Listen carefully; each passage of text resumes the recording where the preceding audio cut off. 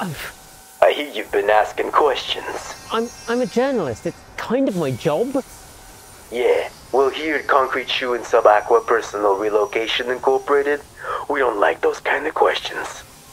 People who ask those questions tend to get relocated, if you know what I mean. You, you, you mean like uh, sleep with the fishes kind of thing?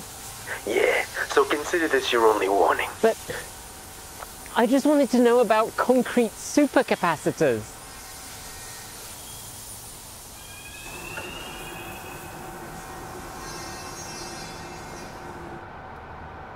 Aren't you at least gonna let me go?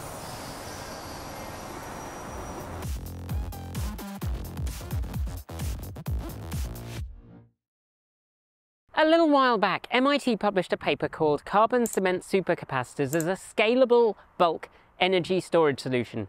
It's an open access paper and we've dropped a link, as always, in the description. And when we said, hey, do you want us to dig into this potentially foundational material for energy storage, you all were absolutely solid in your approval. I mean, what are we here at the channel about if not to be the cornerstone of your information on concrete? Okay, okay, I promise I'll stop now. Maybe. Bulk energy storage is one of the most significant challenges that, as a society, we face. Fossil fuel, gas peaker plants and coal plants have historically provided the bulk of our energy generation needs, and those plants can be combined to provide a steady supply of energy that's roughly adjusted to meet the expected peaks and troughs with the peaker plants spinning up to top up energy demands as required. Those kinds of plants aren't weather dependent. Unless, of course, you're in Texas, where apparently, thanks to a lack of regulation, power plants and transmission lines don't really work when it's either hot or cold. Which would only really be a problem if Texas was subject to extremes of temperature. But as angsty climate deniers and the fossil fuel lobby are very enthusiastic to point out, you can't generate solar in the dark and you can't generate wind power on a still day. I mean, you could always do something with hydro or geothermal in that case, but they're not so fond of talking about that for some weird reason. It is also challenging to create a peaker solar plant for your sudden energy generation needs because everyone's popped the kettle on because there's an ad break in, uh, in... Nikki, can, can you give me the name of a popular current TV show? Um, too hot to handle? Isn't that something the humans watch? Yeah, yeah, what, what she said, that's definitely a show that's on TV. So far, we have been seeing a variety of energy storage systems, either in use or proposed for working hand in hand with renewable energy generation. So you can store energy while the sun shines, or the wind blows, or the waves wave and then you can release it when needed. There's long been the good old standby of pumped hydro storage, which has been around since the early 1900s. Then there's the gradual transition from pilot projects to domestic bidirectional energy transfer, from EVs to larger scale grid stabilization projects using a tiny proportion of the energy stored in that large metal object with a giant battery that spends 90% of its time parked outside your house, not moving. It's your car. I'm talking here about using your car for grid-tied energy storage when you're not driving it. And no, it's really not bad for your battery. We chatted to Honda about that way back, uh, back here. Then there's been a raft of pilot energy storage projects, either using recycled or retired EV batteries. We covered those a while back as part of our What Happens to the Batteries videos. And of course, there's been a massive number of projects, as we've seen from Tesla and from a number of other companies, building enormous energy storage facilities like Moss Lake, which can generate an incredible 3,000 megawatt hours with a peak supply of 750 megawatts. But all of these are either dependent on expensive or complicated to manufacture batteries and require vast swathes of land dedicated to energy storage, along with huge amounts of infrastructure. And the potential for concrete carbon supercapacitors is that they don't. They can just be part of our normal house building or renovation processes. For those who are a little unclear on what supercapacitors are, a very brief refresher. If you have batteries, supercapacitors and capacitors on a line, with the battery end, you get things that are very high energy density. That is, they can store a lot of energy, but a relatively low power density. That means that while they can hold a lot of energy, they can't give it to you very quickly. Incidentally, energy density can be quoted gravimetrically, that is energy stored per kilo typically, or volumetrically, so energy stored per unit of volume. So, for example, a litre. If you're building an EV, you typically want both these numbers to be kind of high. For energy storage products, which of these numbers matters depends on what project you're using it for. At the other end of the spectrum, there are capacitors. They have a very high power density, so they can deliver power incredibly quickly, being able to get all their energy out completely in a fraction of a second. That, incidentally, is why it's important to only stick one hand in the back of an old CRT TV. Don't stick your hand in the back of a CRT TV, but that was the advice that my dad gave me about fixing my 1970s Fergie Colour Star. So while capacitors can get that energy out quickly because of their high power density, they don't actually store lots of energy. They have a low energy density. Supercapacitors, they sit kind of in the middle. They have a higher energy density than traditional dielectric capacitors, but they have a much lower energy density than batteries. On the other hand, they have a much higher power density than batteries, but significantly lower power density than capacitors, which makes them useful for storing a moderate amount of energy that might need to be allowed out quite quickly. Which is good because traditional home energy storage has been kinda limited. For a long time, a single Powerwall maxed out at 9.6 kilowatts, although the current version maxes out at 11.5 kilowatts peak, which sounds fine and dandy until you, in your all electric household, plug in your EV to charge, which maxes out that first unit. Then, if you're trying to minimize your grid load and just use your organic, locally sourced electrons, you need a second one to run the actual appliances.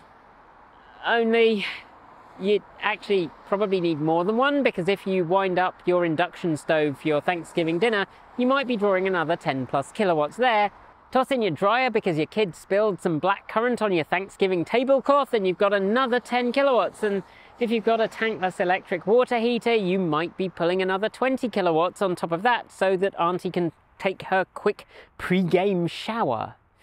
Now, suddenly, your house is pulling nearly all its power from the grid, which is fine. We love the grid. The grid is a great thing. But in grid planning terms, if everyone starts doing that and you've been relying on folks having a home battery storage system to do some grid stabilization, things might get a little iffy. So at this point, supercapacitors with their levels of okay energy density but relatively high levels of power density are kind of nice because you can rapidly return that stored energy to meet those very brief spikes of energy demand while storing enough energy to still be useful. So what about MIT? Well, they introduced a relatively small amount of carbon black into cement. Carbon black is formed by burning a carbon-containing substance, wood, for example, although fossil fuel sources have often been used, and burning it without enough oxygen so you get incomplete combustion. Charcoal is a really common example of carbon black that you can just pick up at the store. And carbon black has some interesting properties. It's what's called paracrystalline, which means that, like that pillock who runs around in their combat jacket with an AR-15 at Safeway pretending to be in the military, if you squint at it a bit, carbon black kinda looks like a crystal. Well, bits of it do. It forms little crystalline bits in areas of its structure, but when you look at the whole thing, the structure is clearly not a crystal. Now carbon black is very conductive and when mixed with cement and water, the water naturally forms a branching network within the resulting cement structure as it reacts with the cement. And then the carbon kind of wanders into these spaces, making wire-like structures which remain as the cement hardens. These structures look like fractals, incredibly complicated things that have vast surface areas, even within a relatively small volume. Once that whole thing has dried, you soak the resulting material in an electrolyte material, In the study, they used potassium chloride, which adds the charged particles that you need to make a capacitor. And those charged particles hang out on the carbon structures. Then you separate those two cement carbon blocks with a thin insulating layer, and what you have is a supercapacitor that could form part of the foundations of a building to store energy. In terms of ability to store energy, a roughly 45 cubic meter, that's about 60 cubic yards, block could theoretically store around 10 kilowatt hours, which for much of the world is about the average daily usage for a home. Now, for those of you familiar with supercapacitors, you're probably looking a bit puzzled because that works out at about 0.2 watt hours per litre, which is not good in supercapacitor terms. Typically, you'd expect more in the region of 10 watt hours per litre, although we've seen supercapacitors hit nearly 100 watt hours per litre in the lab. So in terms of performance, no, it's not world beating. In fact, it's kind of terrible, at least in terms of volumetric energy density storage supercapacitor technology today. Yeah, Try saying that 10 times, I barely managed it once. But where it comes into its own is that it's both incredibly cheap and uses nothing hard to get hold of. You can literally use it for the foundations. You don't have to use it in a way that steals space from the living volume of the house. You don't have to take up enormous swathes of land with energy storage. And this technique can be used pretty much everywhere in the world. You don't need anything complicated to make it or mix it. The next tricky thing that you might be wondering though is that adding substances to concrete, or in general substances to other materials, affects the strength of the material, which is rather important if you're using it as your building material. Adding carbon black does weaken the concrete, but the authors found that from around 3% to 10% was the sweet spot for not massively impacting the strength, but providing adequate supercapacitor performance. Okay, so this all sounds pretty good. Which is where I get to rain on your parade, though. You remember that I said that you doped the concrete block with potassium chloride? Yeah, so that provides a cycle life of around 10,000 cycles at 95% of the original capacitance, which is pretty spiffy. And after 100,000 cycles, the supercapacitor was dry. Now, I don't know whether you can re-soak it in electrolyte, and functionally how you'd achieve that with your home's foundations is a significant challenge. Because to quote the paper, supercapacitors need to be saturated at all times to ensure long-term stability of the energy storage properties of the electrodes. So that means in very hot, dry climates, it would potentially dry out quicker, which would lead to that loss of capacitance, which would, of course, suck. Also, if you, like me, have enjoyed the charming ambience of your crawl space and its many delightful tenants, you'll know that in some parts of the world, like, you know, the Pacific Northwest where we film, that foundation material is often sunk into ground that is wet. And having your carefully manufactured electrolyte get washed into the ground either by slow leaching into waterlogged ground or by intermittent flooding will have an impact both on the ground because electrolytes are salts and on your capacitance. So these foundations might need to be externally sealed to prevent that electrolyte escaping or being diluted. And then there's the impact of rebar, the steel that is run through most foundations to give them their strength to cope when the earth moves.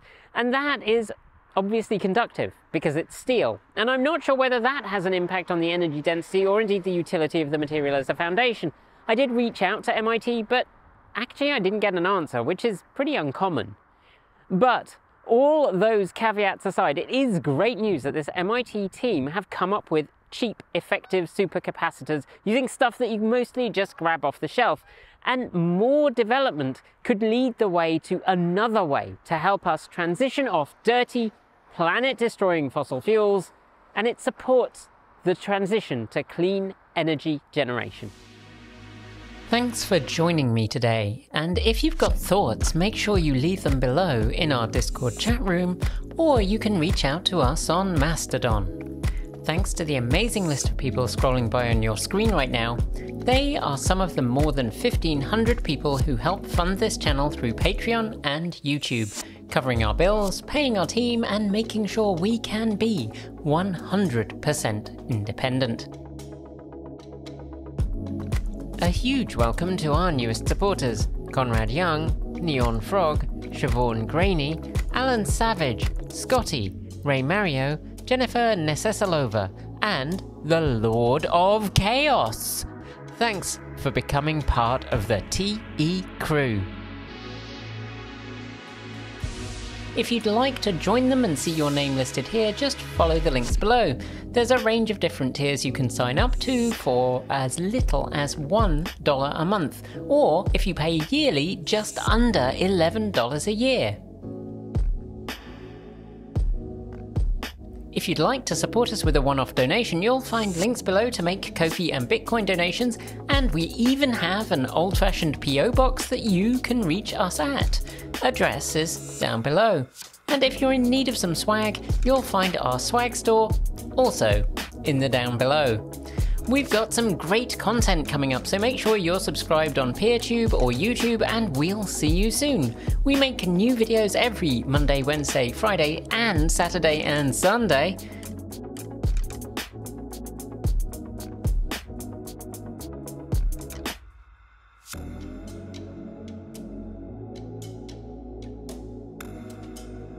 If you want more, the mighty algorithm thinks you'll like this video, but we think this one is also well worth a look. See you soon, and as always, keep evolving!